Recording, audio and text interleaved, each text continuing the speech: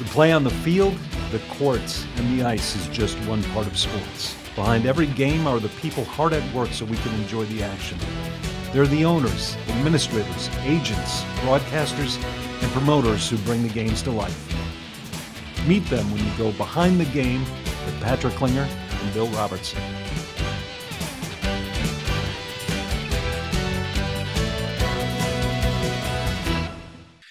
Welcome to Behind the Game. I'm Patrick Klinger, president of Agile Marketing Partners. Alongside me, my co host, well, alongside me virtually today, my co host, a man who was voted the most improved player on his JV baseball team during his senior year at Cretin Derham High School. Bill, three hops to short, Robertson. Billy, it's great to see you. Great to see you, you Patrick. Happy you New you yeah, and- same to you, Billy. You don't typically we'd be in studio, of course, today, but some technical problems prevent that. So feels a little bit like 2020. We're back doing Zoom, but we've got a really fantastic guest today with us that I'm excited about. And I'll let you introduce him. Sure. Well, we have a, a phenomenal guest and uh, a, uh, in my mind, uh, the top and premier uh, play-by-play baseball broadcaster in the country, and Cory Provus, who's currently the Minnesota Twins announcer on WCCO radio and also does college football and basketball for the Big Ten Network. So, Cory Provus, welcome to Behind the Game. Good afternoon, guys. Uh, thanks to have for having me on your show. It's it's my pleasure. Well, we're going to just jump right into these questions, Cory. And uh, I know you're getting ready for spring training here. It's less than a month away, and that's an exciting time with pitchers and catchers reporting. And and uh, down in Florida, it should be a lot of fun. But um, you've been named three times uh, Sportscaster of the Year for the Upper Midwest region. Uh, obviously, your career has skyrocketed since you've been to Minnesota. Um, what got you interested in getting into broadcasting right away as a as a young man?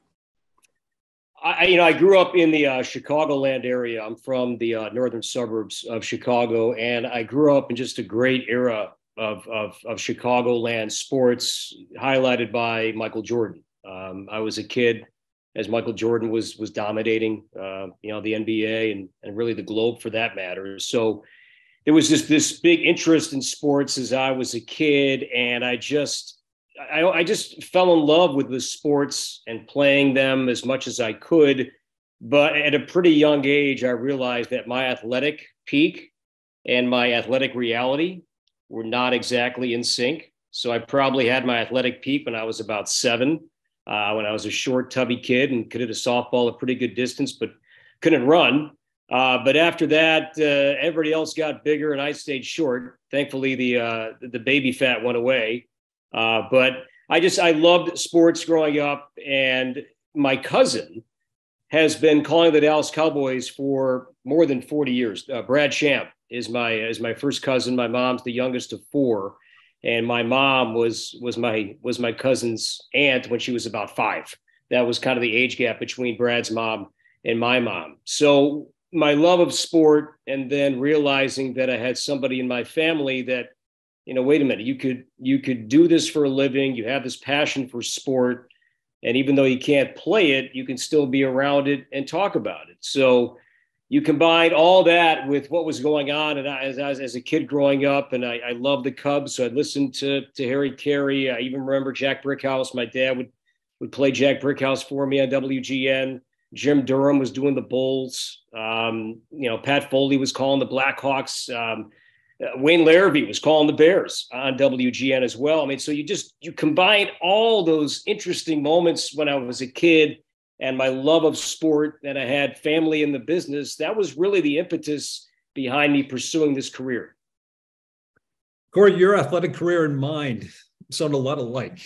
yeah, yeah, yeah. I heard, you know, I heard Cretin, and uh, we all couldn't be Joe, right? Uh, you know, there were there was a Joe Mauer, and then there was the leftover crap, and yeah. I was uh, I was certainly in the leftover crap department. You were just 30 years old when you stepped into the broadcast booth with Bob Uecker to broadcast Milwaukee Brewers games. Um, what did it feel like to to to join somebody who was so beloved, so accomplished, and and frankly so much older than you?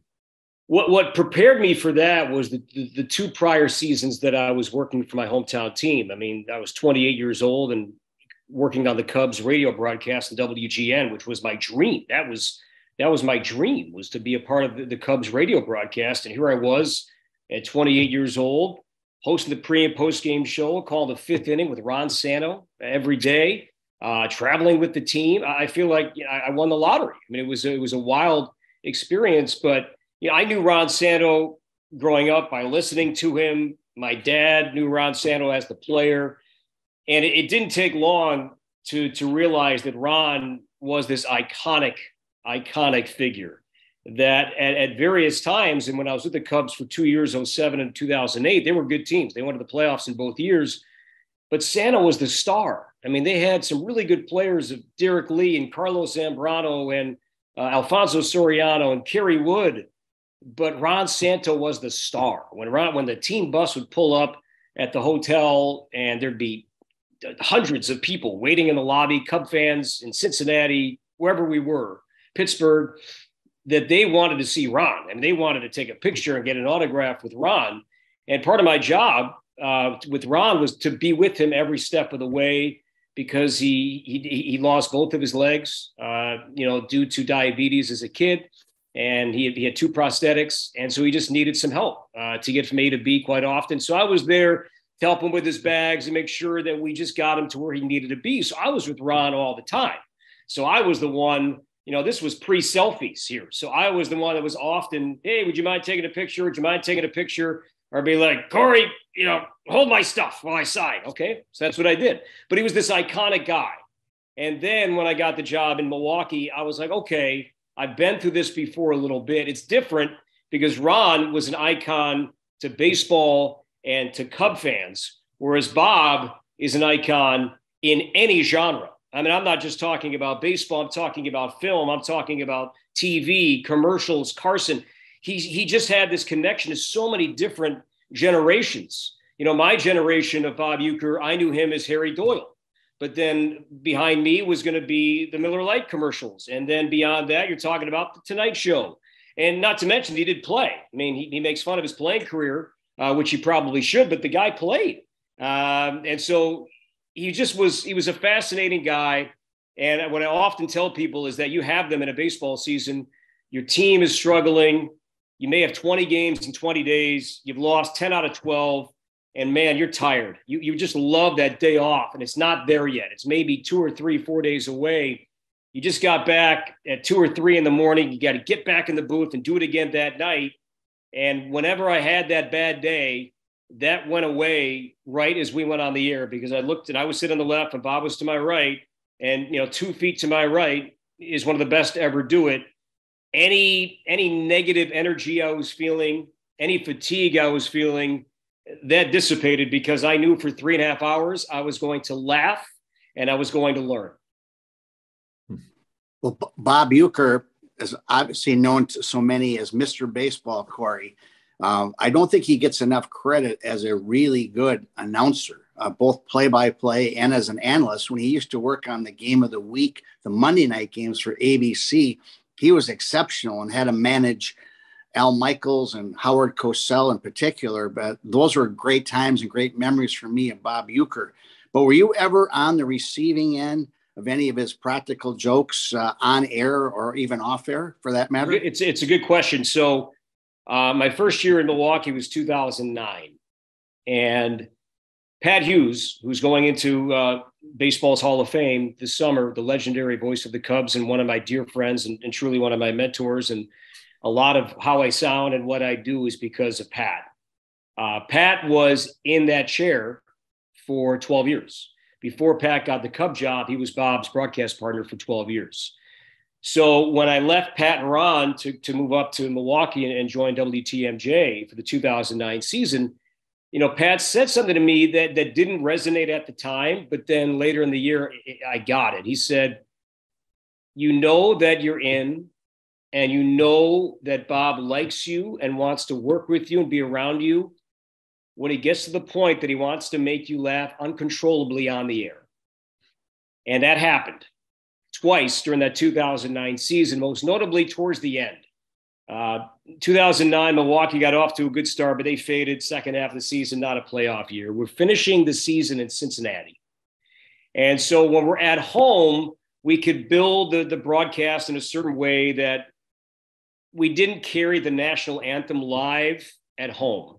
We'd run commercials, we'd run other production, but on the road, it was whatever we had to go off the home team's format and, and timing sheet. So on the road, we would often carry parts, if not all, of the national anthem. So this particular weekend in Cincinnati, wrapping up the 2009 season, there's some kind of event taking place on the field pregame. That there's there's music, there's dancing, there's a lot of color, there's just a lot of cultural action happening on the field. And there was this one uh, artist that imagine the, the, the TV show The Simpsons. So you have Marge Simpson, that towering blue head of hair, but substitute the hair and put in like every piece of produce imaginable. Okay, it's a it's about a three foot tower of pears and apples and bananas and you name it, any piece of produce towering on this woman's head. So she is she is singing the national anthem. And so we get it back from break. And the way that our format was built is that you know Bob would take it out of that last break, and then I would do the starting lineups, throw it to break, come back, and then we start the game.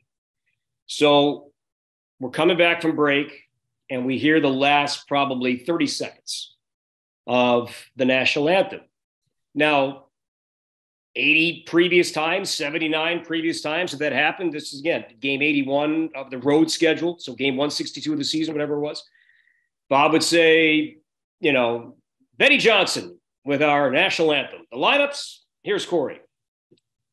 But for some particular reason, Bob, I'm just waiting for that, right? And we hear the last few bars of the anthem, and he says, The Chiquita Banana with our national anthem. The lineups, here's Cory. and I had nowhere to go. I had nowhere to go. I, I, had I had to read a sponsor card. I had to get the lineups. And uh, he, you know, he didn't turn his mic off. He's right there. He's like, "You okay?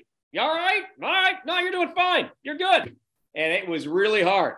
It was really hard to put together uh, that that last segment. So it's that you know, Danny and I now we have those moments too. They happen in spring training when there's more levity to it, but I, I don't fear them, and I'm not as embarrassed by them because it's it's human nature. But man, when when when Bob did that that first time, and it happened multiple times the next two seasons, but that first time, I'll never forget it. And uh, whenever I go back to Cincinnati for interleague play, man, I hope it's that same event. I'm just waiting. I've been there, but I've not seen that same festival taking place on the field before the game. Uh, that's a fantastic story. Cory, you took over as the Minnesota Twins radio play-by-play broadcaster in, in 2012. Uh, you took over for John Gordon, who's in the Twins Hall of Fame.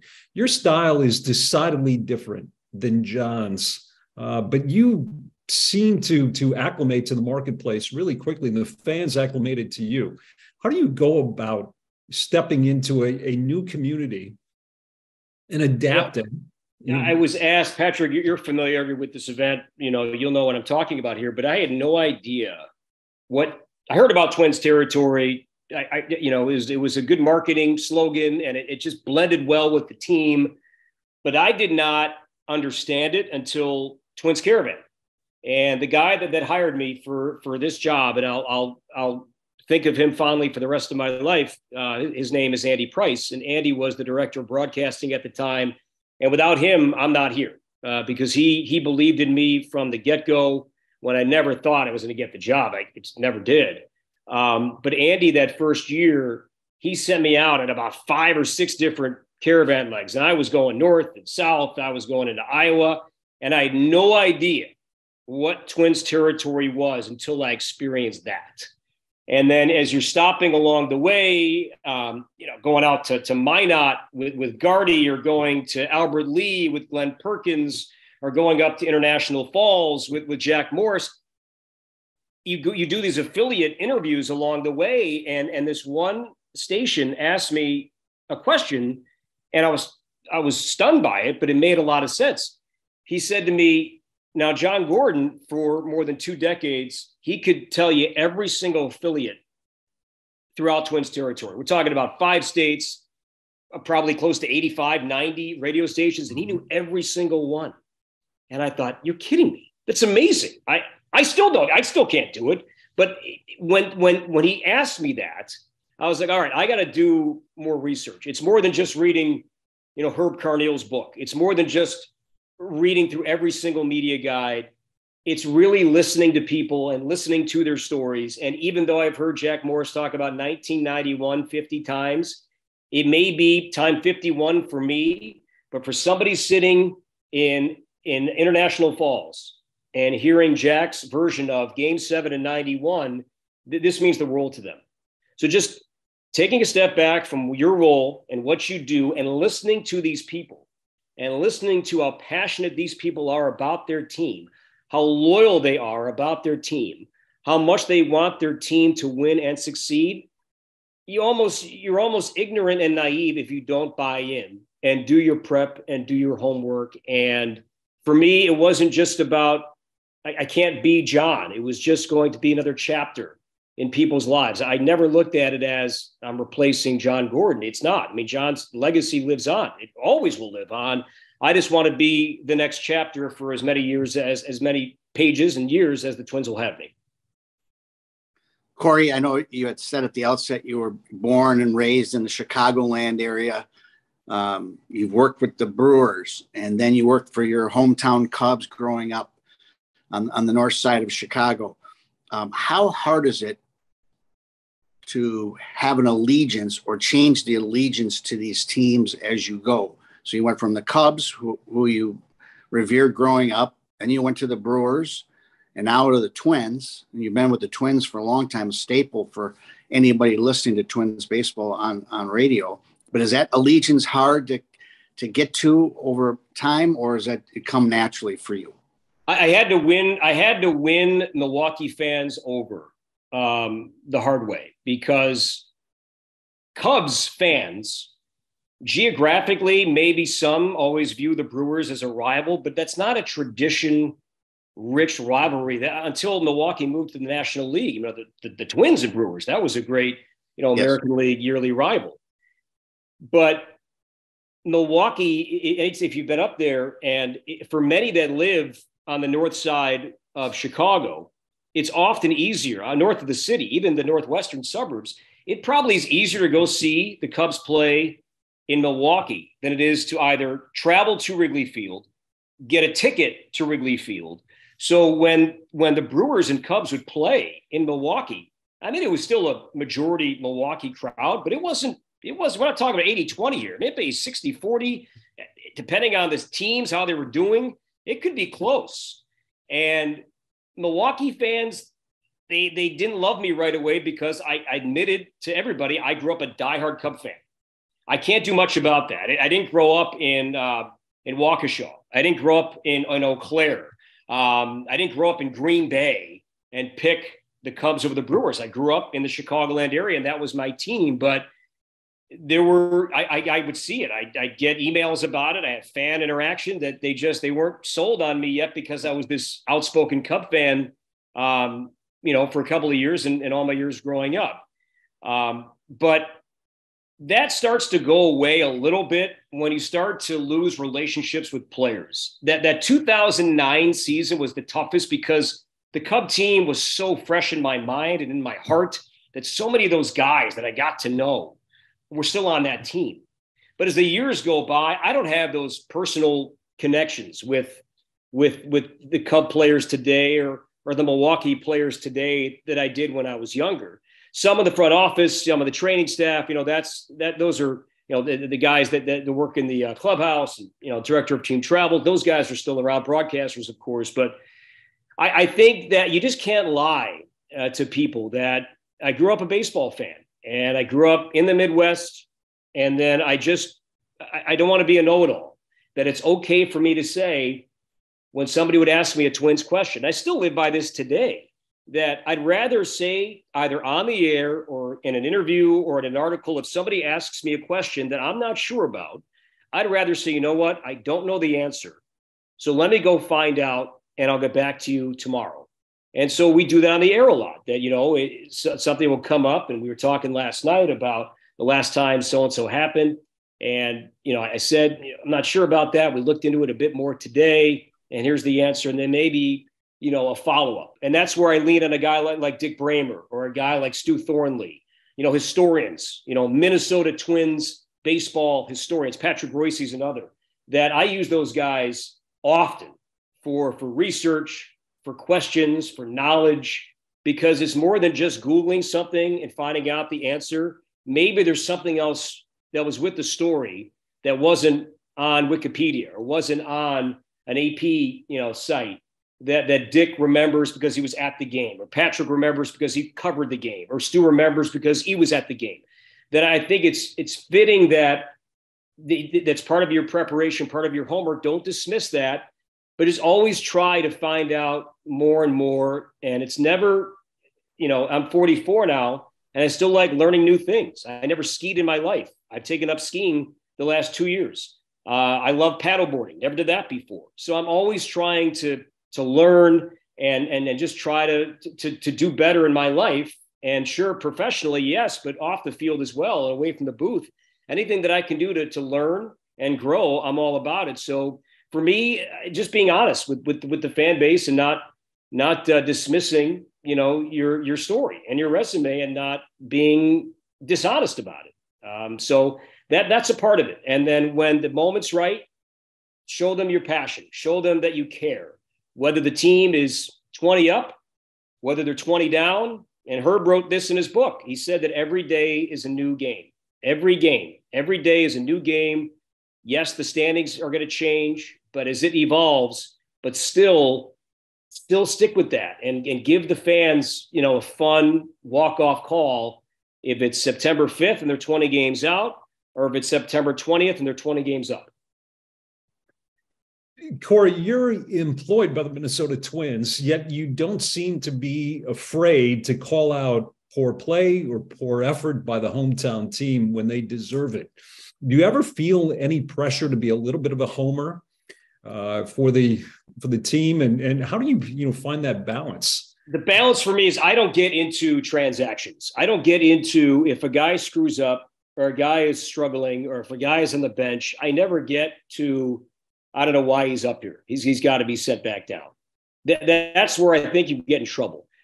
But so much of, of, of, our game, more than ever, is driven by stats, is driven by analytics. So if you're speaking of somebody's of, of somebody's success, you have to back up the other side as well. When a guy is struggling, it's it's factual. And when something we referenced often last year that the Twins were among the worst base running teams in baseball last season. That wasn't just an opinion, that was statistically based. Now, you have to do some work to find it. You're not just going to find that on ESPN.com. You have to, there are websites that can go to, and some of it's subjective. I'm not saying it's perfect, but as long as I'm being honest then I, I, have not gotten myself in any hot water uh, over anything I've said because I'm basing it on fact.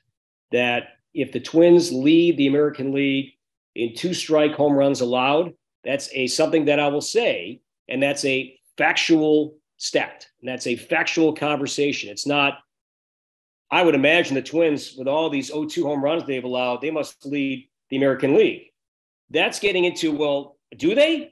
So that's where I draw the line, Patrick. I, I I'm I'm fair. Um, I work for the team. I want them to win. I want them to succeed. But if you don't point out, you know, some of their where they're inefficient and where they're struggling, then you're not being honest. You're not being credible. And if you lose your credibility with your audience, you have no chance. Cory, since you've been with the, the Twins, you you've worked for three different man worked with, I should say, three different managers. You had Ron Gardenhire, you had Paul Molitor, and I have Rocco. Tell us the relationships you garnered with them. Has that helped you with information to better your broadcast? And how about dealing with them when things are going well and when things are not going well? I mean, Gardy was I, I was so lucky. I mean, as everybody here knows. I mean, what a treat to be around Gardy my first year. He took care of me, man. He he kind of, and I think the caravan experience, getting to know him, being on a bus for five days, um, you know, traveling out to the to the uh, Dakotas was helpful. But you know, he just he took really good care of me from the from the outset, and he was always down for ask me anything you want. You may not get the answer you want, but ask me anything you want. And I would just know there were certain days if I had to ask him about something from the day before, ask it, but don't hammer at it time and time again. If you have to address something that happened, a, a decision he'd like to have back, fine. He would do it, but then you move on. Paul Molitor was very intellectual, and Paul Molitor gave me, and it just happened during an interview, and it's one of my favorite uh, pieces of advice. He didn't mean to do this; it just happened, and it's one of my favorite uh, pieces of advice I've ever heard, and I use this to this day. That he, he just I, I, forgot how it came up. We're talking about the day before and a game that got away, and he said, you know, there's that expression to turn the page. It's okay to turn the page, but don't forget what you read. And I love that. And I'd use that forever. And I think that's applicable in anything you do in life. Anything. I mean, forget baseball broadcasting, just anything you try to learn from. That's good. Learn, move on, but don't forget what you read. And so, very intellectual and what he would study on his desk was different. He'd have some papers and all that stuff, but he would love to watch pick off moves from pitchers. He'd get out there early BP, take a ball, roll it down the first and third line. He wanted to see where the grass was cut, if there was gonna if it was gonna roll a certain way, if a bunt was gonna go down. Those were things he was really really keen on. And for Rocco, th- this was his first time, you know, being a manager. So to understand all the media that that that that is a part of it and the daily responsibility of of doing yes your your on-field job balancing all the off-field job we've been learning together and we have a great rapport uh, it began you know for us in 19 and then 20 it was different doing all those interviews uh, over zoom and then we got back to being in the office uh, you know full time here the last couple of years so you know rocco is very he's very cool to talk to i like talking music with him um, more than anything else. We like talking about that. Paul Molitor, by the way, in his office at the, at the ballpark, he had a signed guitar from Springsteen. He had a signed guitar from Eddie Vedder. Uh, I mean, that oftentimes he'd be talking, I'd be looking at his wall. I mean, I, I don't care what he's talking about. I want to, I want to hear stories about his guitars. Um, so just really, I've been blessed to have these, these, these guys. And for me, it all began with Lou Piniella. I mean, I, I got to be around Lou Piniella every day with the Cubs and it'd be me, my Sano and Lou Piniella doing the, the manager show, and Ronnie would tape it. I make sure it was being recorded, but then sometimes Ronnie couldn't do it, so I would do it. But talking with Lou Pinella, I mean, one of the true gentlemen and great uh, personalities in our game's history. From him to to Ken Macha, and then Ron Roenicke, and then you know Gardy and, and Molitor, and now Rocco. I've been very spoiled. That's great. Hey, Cory, we've been spoiled because this has been a terrific conversation not only are you truly one of the best broadcasters in the game, but you're a class act. And uh, thank you so much for carving some time out today. Went by in a hurry. I hope we can come back and do part two sometime soon. I'd love uh, to. Yeah, I'm sorry I rambled. I probably got too long winded there. I'm uh, sorry. Uh, great. No problem. Billy, great to see you as well. Gentlemen, uh, have a great weekend. Uh, look forward to seeing you both in person soon. And we'll be listening this season, Cory. Thanks, guys. Appreciate it. Take care. Thanks for watching Behind the Game.